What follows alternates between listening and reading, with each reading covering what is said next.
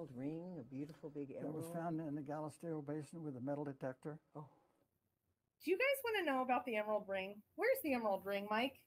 It was not in the chest, right? And Correct. Forrest could not find it in the vault. So I have that right? He looked for it. He found the gold frog. He didn't find the emerald ring. Is that right? That is what we were told, yes. Okay, where's the emerald ring? Cynthia has the story of where it is. It is Okay. not in the treasure chest. Okay. She knows where it is from Forrest Fenn's family.